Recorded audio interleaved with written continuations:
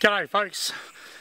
I'm in the second last day of my two glorious weeks of annual leave and I thought no holidays from work could be complete without going fly fishing.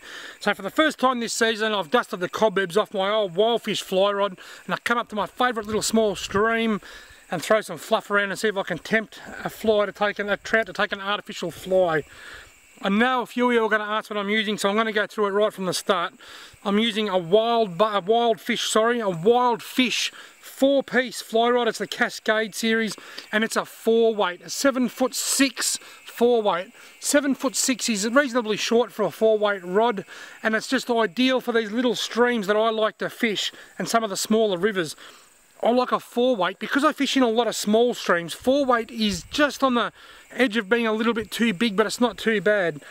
I can use this in bigger rivers, it's ideal in the Ovens River. Once you get over into the, the, uh, the Kiewa River, it's a little bit on the small side, and you get over into the Mitta Mitta River, and you probably want a six weight or something a bit bigger. But if I had a six weight, I wouldn't be able to fish these small streams with it because I'd probably get too tangled, or I'd be limited as to which pools I can fish. So a four weight is a great all-rounder for me. It's a wild fish. This actually used to be Rex Hunt's fishing rod. I was fly fishing with Rex Hunt up in the Buffalo River a few years back. And I said, well, I didn't bring a fly rod, Rex, because I didn't have a very good one at the time. He said, well, you borrow this one. So he's rigged it up for me, and I've had a few casts, and I just absolutely fell in love with it.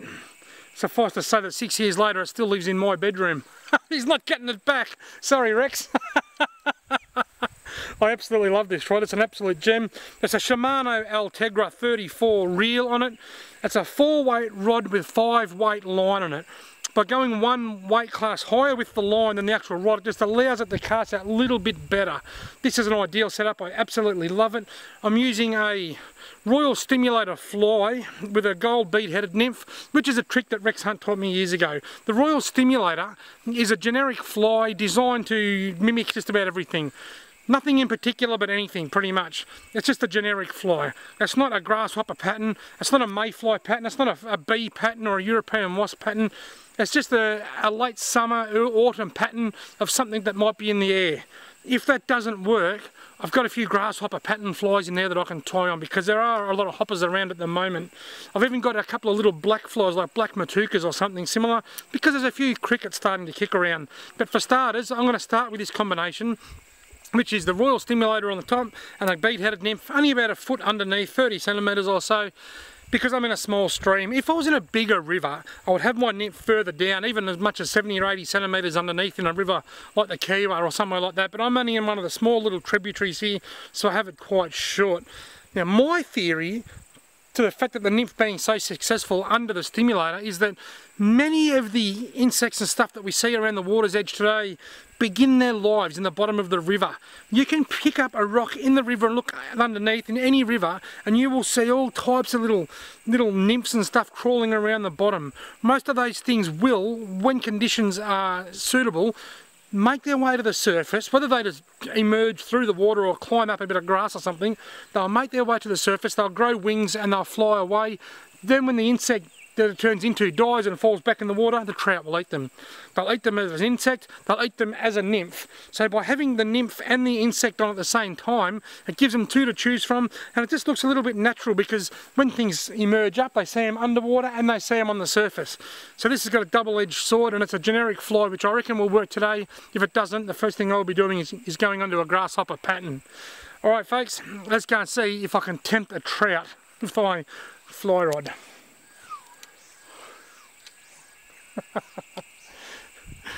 Do you know, do you know how to pull up, do you know how to lift up an elephant with one hand? You can't, you idiots. Elephants don't have hands.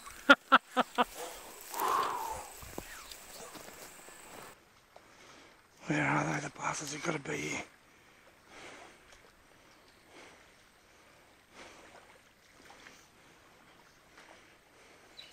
Oh, you hit the nymph. Hit the nymph and I struck too slow. There's a small fish rising in the creek here. Here he is. Got him. Oh, I missed him. There he goes. He's, he's been rising, so I cast over to him and hit the stimulator. And I struck way too soon.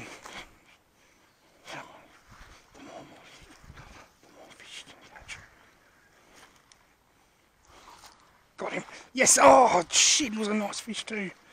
Just a bit too slow setting the hook, you idiot. God, I'm hopeless at this.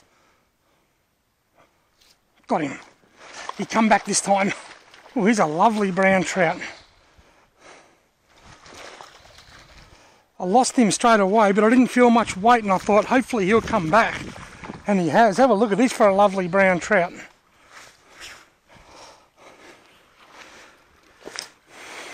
What a ripper. I'm going to get my camera out because I want to get a photo of this fish. The same time, I don't want to hold him out of the water. So I'm going to get my camera out now, get everything ready. Right, eh? come on, buddy.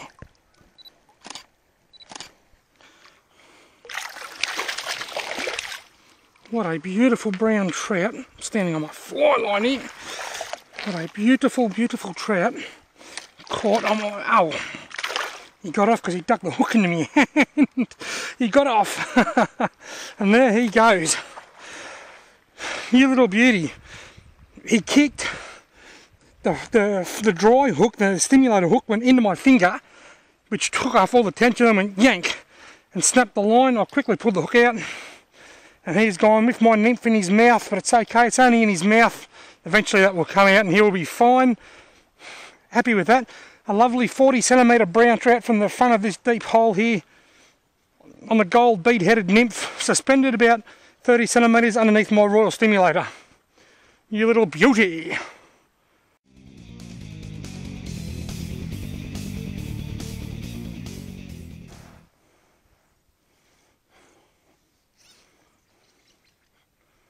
Does it rise? Can I get it to rise to my stimulator? Come on, come on, come on, come on.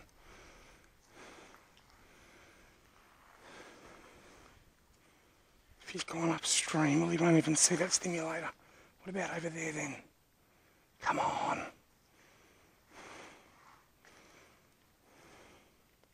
Got him on the stimulator. I was just thinking now, I just about to say, if he's rising, I'm casting to a rising trout. Now, if he doesn't take the stimulator, oh, there he goes, he's jumped out and he's spat it. he has jumped about a foot and a half out of the water and he has spat my little royal stimulator fair out.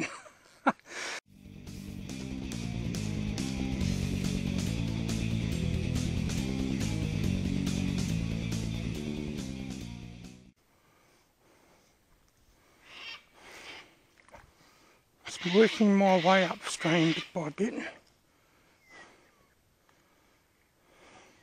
Oh, yes, take it, take it. I was just about to pull it off the water, then I saw a trout sitting under it. I reckon I spooked him and I lifted that line up then. Bugger.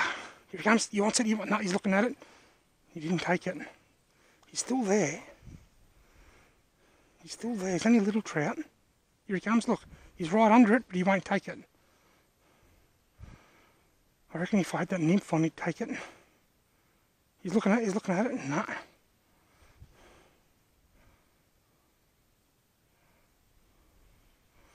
I need to try something else. A different fly, perhaps. Change. Now it's time for change. I don't know what you'd call this. I bought it at Adventure Camping and Fishing this morning. It's just a, it's a grasshopper. It really is an actual, looks just like a grasshopper. A little foam grasshopper. Now if I can't catch this trout with this foam grasshopper, there's something wrong. He just rose right there. Something rose right near where my fly just landed. Here he goes, got him. I missed him. I was just too fast or too slow or too stupid.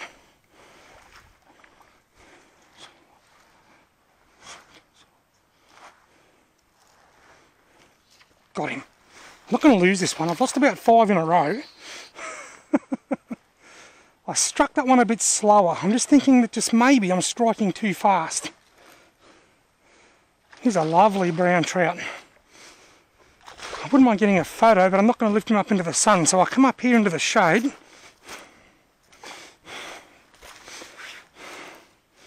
I'll put my bag down now and get my camera ready now. So it can be all over really, really quickly. Righto, fishy. Here he comes. Whoa!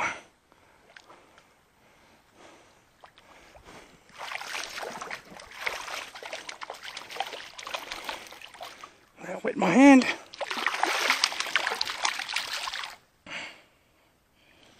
He's got that grasshopper fly fair in his gob there, look at that. Beautiful.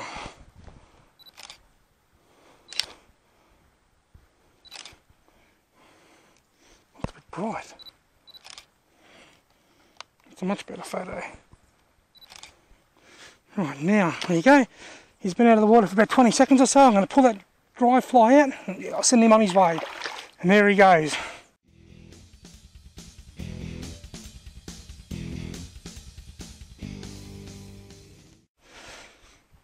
Little dry fly. It's a, uh, it's like just a fake little grasshopper made out of sponge. I ducked into adventure camping and fishing on my motorbike this morning and bought it. It looks just like a grasshopper on the water. Had a lot of takes but a really poor hookup rate.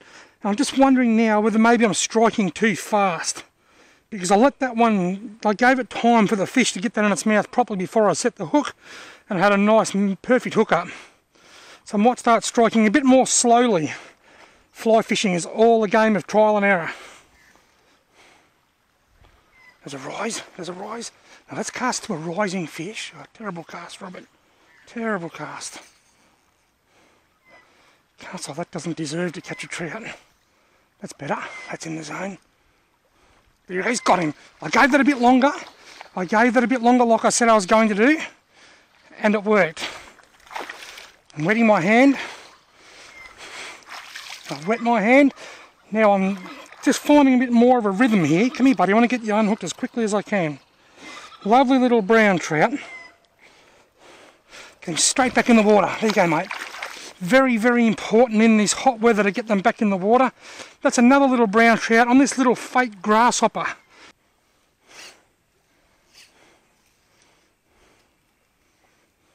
Here's one. Take it. Got him. I gave him a couple of seconds. He took it. I said, take it. Between him grabbing it and me setting the hook, I said, take it. So probably a second, second and a half between strike, between him taking the fly and me setting the hook. I'm getting a bit of a rhythm happening here, folks. I'm really starting to enjoy this. I will admit that what you didn't see, because I've edited edited these out, is uh, lots of trees being caught. Uh, a little bit of foul language. I'm wetting my hand here so I don't get into trouble, and I don't want to damage the fish, and he just got off anyway. he done me a favour because I was just about to release him. All on this grasshopper, this fake grasshopper. Little grasshopper pattern fly. Here we go. It's all happening, folks. I'm really starting to enjoy this here. I was going to say, it took me a while to get the hang of it, to get in the feel for it. I was catching trees, I caught a fence. I lost a few flies, I had a few tangles. I missed a lot of fish. But now it's taken me a while, but I've got the right fly. I finally found the right fly. I found the right striking speed. Sometimes you've got to set the hook faster than others. And I'm just getting into a bit of a rhythm. And I'm really starting to enjoy this. And I've got to go back to work in two days.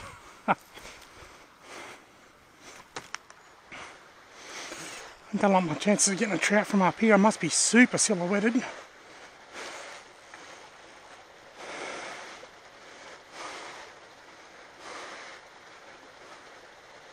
Oh yes, I did. Look at that. it's a nice fish too. Look at where I'm standing. I'm right up on top of a tree that's fallen over. Up again. Oh, I suppose I've got a nice green backdrop. What a lovely trout. Oh, look at that. I've got my hand. Mate, you are a beautiful fish. Absolute ripper. Wow. Quickly get the hook out. Oh yeah. What a gem. On buddy. Let me get the fly out. Off you go. Back in the water all within just a few seconds. Minimal stress on the fish. Oh yes, oh gee whiz. That all happened real quick. I struck too quick. The fly hit the water, pump, it was just devoured straight away. And it actually pulled line before there was even any slack in it. Wow. The fastest dry fly strike of all time. Wow, the fly hit the water. The fish, oh, one just come under that and swirled under it. Something spooked it though. Why did it turn around? Got him. I knew he was there. He, he, the first cast there, he, he came up under it and turned around. And the second cast, he, he nailed it. Another lovely trout. Wow. Come here, buddy. Now, wetting my hands lifting him up nice and gently. Look at that. These trout are in great shape. Absolutely brilliant shape. He's the can't the hook yet, though. There you go, buddy. Off he goes. All over in a couple of seconds. I'm kind of wishing I'd bought more than one of these flies at Adventure Camping and Fishing today because if I lose this, I haven't got it anymore. Although in saying that, it's starting to get torn to shreds. It's starting to come apart. You've got to admit, it's done a pretty good job. it's caught a heap of really nice trout.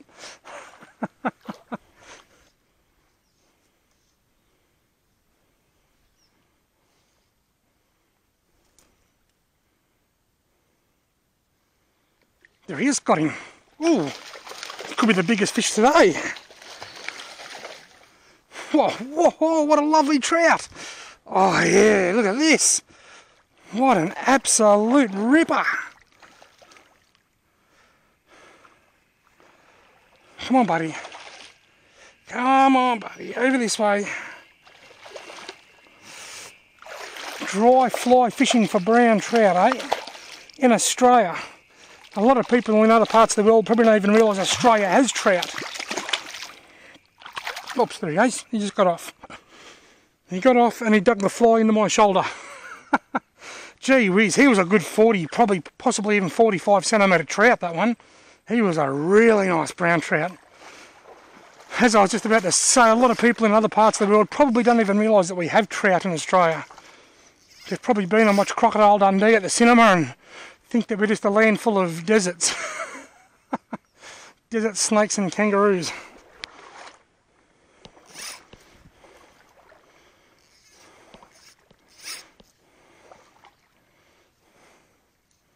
Got him. Yep, there he is. Little fella. Took it, I said, got him, and then I struck. Once again, I just wet my hands. Once again, I paused before I set the hook. I lost quite a few fish earlier today because I wasn't pausing when I set the hook. Nice little brown trout. I was striking too fast, thinking that you've got to go fast.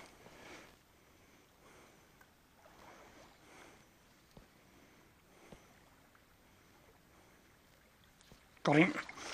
Once again I paused. oh, it's a lovely fish too. Not as big as what I've been getting, but still bigger than the last one I just got. I have got my fly fishing mojo back. I have got my fly fishing rhythm. Now I wet my hand. Come on buddy, come on, quickly come up. I'll do this as quickly as I can. This is why I've lost a few fish doing this today because I'm not lifting them out of the water because I don't have to until I'm ready to go. I've actually got that down a bit deeper this one but I'll get it out.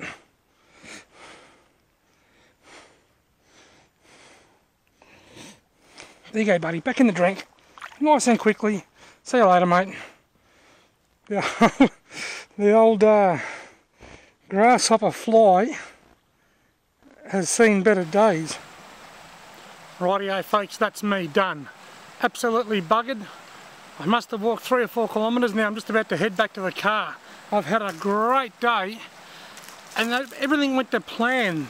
If you remember the introduction to this video, the plan was to start off using a royal stimulator with a nymph underneath. I've got quite a few takes on the nymph and I caught a couple of fish on the nymph. Not much action with the royal stimulator. In the end, I hooked a nice trout when it took off, the stimulator stuck into my finger. The fish had the nymph in its mouth and it snapped the line and took off with the, with the nymph in its mouth and left me with the stimulator in my finger, which wasn't sort of embedded very deeply incidentally. I then went to tie on another nymph, then I realised that I didn't have any more fishing line with me, or, or leader line, or normally I just use 4 pound Maxima Ultra Green. So I thought, ah, that stuffed me. My leader's not very long, I don't want to make it any shorter, so I kept the stimulator on for a while, and I had one take, or two takes, but I couldn't hook up. So I went to plan B, which as I said at the start was to tie on the little grass, or put on the little grasshopper pattern fly that I bought at Adventure Camping and Fishing this morning. I put that on and straight away fish started rising to it and hitting it. I missed quite a few fish. Took me a while to work out I was striking too fast. After a while I slowed down, I became more relaxed. I slowed down, I relaxed, the fish would take it, I'd slowly set the hook and I just got into a rhythm and I just cleaned up and I have had an absolute ball up here this afternoon with this little foam grasshopper fly that is about as shagged as I am at the moment. but anyway, I'm going to show you something that I've got here. I've, I've given this a bit of a mention in one of my other videos. Have a look at this. If you haven't got one of these, I suggest you go and get one. I bought my litre bottle of water up with me and I ran out of water ages ago. So far I've filled this up out of the creek four times.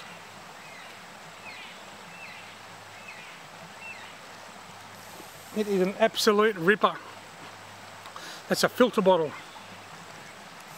The water always tastes quite plasticky. If you undo that you'll see it's got a filter in there and you squeeze the bottle and it pushes the water up through the filter and you suck at the same time and that way you can drink the water out of the creeks. Some people still don't have faith in these and don't like to do it, but I can tell you I've been using this for a few years now and I've never had any kickbacks, I've never got sick.